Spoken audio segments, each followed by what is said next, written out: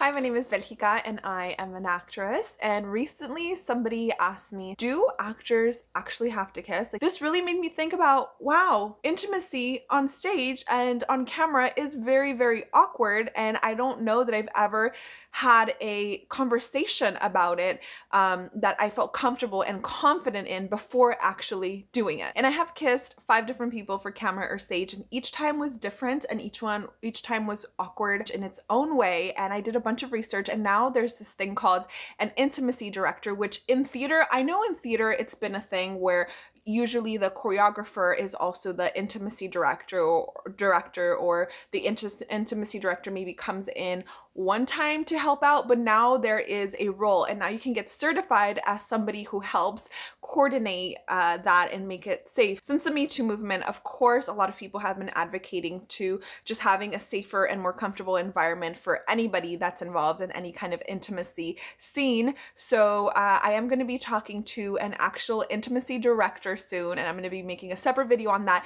But I thought today I could tell you about every time so far that I've had to kiss somebody on stage or for the camera and I'm gonna tell you each one, like who I kissed, what the situation was, how awkward it was, and just to let you know that this is somebody, something everybody goes through. And in college, we never learned anything about this. We never had a class that was dedicated to having a conversation around that. Most of the time, it's just been like, okay, do it. So let me tell you about each time that I had to kiss somebody for the stage or the screen. Oh, and by the way, yeah, you do actually have to touch lips I mean, unless it's very hidden and you don't have to, you might not, but in general, yes, you actually do have to kiss the other person. And I'll, of course, get into that with the intimacy director and how that looks like. And I do want to give you some resources and for you to just get comfortable for when this does come up in your career. So I'm going to be linking a bunch of videos or links to blogs that I read that really helped me and that explains it more. Will this be a deal breaker in an acting career for you? Because every actor, one time or another, you might have to become intimate or kiss somebody. If that makes you extremely uncomfortable, if you have any trauma around it, if just the idea of having to be intimate with somebody else just isn't okay with you, then just don't audition for those roles. If your dream is to be in romantic comedies and be in stories about love and relationships, then that's that's going to be something that you definitely are going to have to work at um, because if you are auditioning for something that already has an existing kiss in it and it's integral to the storyline, they're not going to remove it just because you're uncomfortable. I would advise you to not put yourself in those situations by not auditioning for those types of plays. Um, or if it is a film that you really want to be in or a play you really want to be in and you want to work around that, then see if the director or writer are willing to take it out. Maybe, but that's very, very unlikely because they put that there for a reason. Anyways, now that I went down a very long tangent, I'm gonna tell you about every time that I had to kiss somebody. The first time was my freshman year of college, and this was for a competition in college. It was called uh, KCACTF. It's basically a countrywide competition. I was a freshman and I was selected to be in this competition. Usually freshmen are not selected in, in to be in these. We did a scene where it was two women that had to kiss each other. And before this, I had never even had like a serious relationship. And I think I had maybe kissed like two people in my life. So just kissing in general was a new thing for me. Uh, yeah, so for this competition, we had to rehearse on our own and get feedback from the professor and our fellow classmates for that specific class because you were also in a class for that competition. And then we're like, okay, well, we need to rehearse this scene and this kiss. So I had a one bedroom apartment that I shared with two other roommates and I just told them like, hey, we need to rehearse. And we had uh, closet doors in our bath in our bedroom that were mirrored. So we're like, okay, perfect. Like we can just go in the room and practice. Like no conversation about like what are you comfortable with? Nothing. And so we just like sat in front of the mirrors and we just did the the uh the scene and then at the part where it came to kiss, like we just kissed. And it was awkward because we didn't talk about anything. You know, it, it like I wasn't attracted to her and I don't think she was attracted to me. It was just weird because we had to do this intimate thing that was kissing. And this did not this rehearsal did not help our performance because I remember in the performance, she was like in the moment of the scene and blah blah and I remember our kiss being like very fast and rough and like uh, the rehearsal process didn't help. The rehearsal process was just very awkward for that. And um, we didn't have any kind of guidance for that scene. Our professor, I love our professor, by the way. He was my favorite professor in that university. But our professor didn't tell us, like, oh, hey, you guys have an intimate scene. Maybe you should talk to each other and just like see how you, you know, whose head is going to turn which way. Go in for the kiss. Like, how do you want to make that moment special? Because whenever you have a moment like that, it's usually significant. And then the second time was a lot less awkward. Uh, the second time was, I want to say, so that first time was in 2010, and the second time was in 2012, I believe, and it was for an acting on camera class, and it was with this amazing actor named Reggie White. He's been on Broadway now. He was just so talented and charismatic. Like, I already just enjoyed being his friend, so it wasn't as awkward, and it was for a short scene for an acting on camera. This one we had to perform only in front of our classmates, and it was a very short scene. We didn't really practice either. We didn't have any kind of direction from a professor. This was a different professor at the same university. And again, he's that professor is awesome, but we just didn't have any kind of guidelines or guidance for this. So, yeah, so we kind of just kissed. That time it was not awkward and I, I wouldn't say like I wasn't attracted to him or anything. I wouldn't say like I enjoyed it, but at least this time it was like, oh, cool, part of the scene. And by this time, I had a boyfriend. So the same boyfriend I have now. So I just in my head imagined, okay, when you kiss him, just think about how you feel when you kiss your boyfriend Alex. Like, it's nice you close your eyes like you know so i was now a little more experienced i guess in kissing and i just was more comfortable. So that was the second time kissing on camera in front of a class. Okay so one of the things i don't like about kissing people for the camera for acting is that germs right? Like i like i told you i think i've only kissed three people in my life off of camera. Yeah, so in general, like I feel like my mouth is clean, you know, because I haven't exposed myself to a lot of people. It was just like a germ thing. And in this next situation, me and um, my co-star, I guess, uh, we were one character. It's uh, the name of the play was called Yerma, and uh, we were playing like the same character different sides of each other like we played this one character so our husband in the play uh, had to kiss one of us and then kiss the other one. So it was like I was getting germs from two people. So that's like the first reason why it was kind of awkward in the first place. But this was a play in the summer of 2012. And I believe it was summer of 2012. Wait.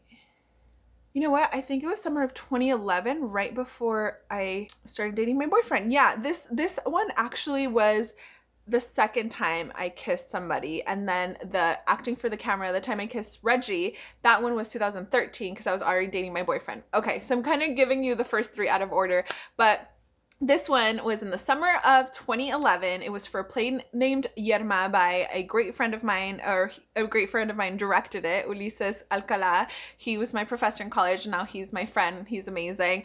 But this was the first time that somebody actually took the time and walked us through it and asked us, How are you comfortable? Like, how do you guys want to do this? Are you okay with this and that? So it was like we actually had a conversation. But the awkward part was that the guy had to kiss was my uh, one of my best friend's boyfriends and she was also the choreographer and intimacy director in this scenario.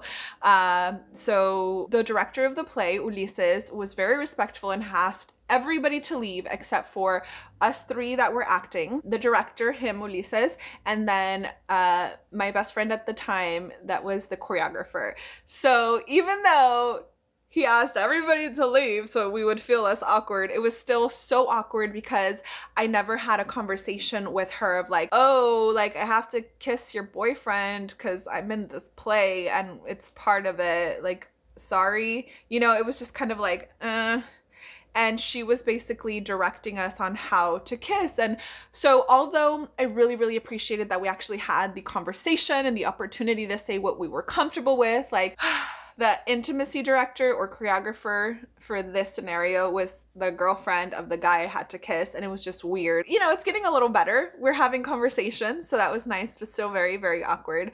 Uh, and this was a play, so I had to kiss him every night for a few weekends. And then the next time I had to kiss somebody was, it was more recently, and uh, this was for a Ted Bundy. You guys know the serial killer Ted Bundy. It was a recreational a re- recreation of a scene um, where Ted Bundy and his wife kiss. So in this scene, uh, I it was for the camera. It's for TV. If you guys have the Reelz channel uh, it was like a three part docu series kind of deal. And the guy was super super sweet. I have a lot of friends who acted with him for that same series and they told me like he's awesome he's super nice and i talked to the makeup artist she was like oh yeah he's super nice. I was really happy that i knew he was you know a respectful person. For this one we did not have a conversation. The director nobody nobody gave us you know any kind of anything. They're like okay go ahead and kiss because uh, that was the primary part of the scene. And i was just really nervous. I remember just telling my boyfriend like hey just so you know like i have to kiss somebody today for you know this thing i'm shooting for tv and he was like yeah it's okay. It's fine. You know i just want to tell him. I just want to be respectful and tell him i'm going to be kissing somebody else.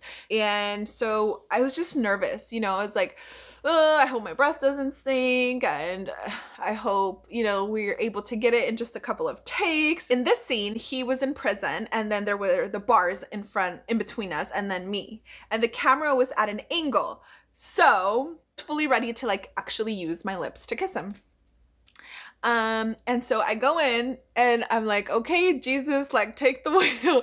and I go in to kiss him and the bars are right here, right? And we're kissing like in between the bars and I go, and I was like, oh my God, he's faking it. He didn't touch my lips. So just continue to stay there and like move my head as as if I'm kissing. And then the director's like, cut. They thought we were actually kissing and the camera totally made it look like or I mean according to the people that were watching it, the you know, the cameraman, the director, all of them, they were like, okay, cool, it looks good. So we did it. It was a pleasant surprise to like go in fully expecting to kiss and then realizing like, oh we don't actually have to because there's a bar. But also like in such a professional scenario, like you'd think there'd be some kind of direction or somebody that was helping us with the kiss, but and again, everybody on set was awesome. The director was awesome. Like everybody there was great we just didn't have a conversation about it. And the most recent time I had to kiss somebody was another girl for a short film called Ukulele Girl. And this one, this film isn't out because I want to say that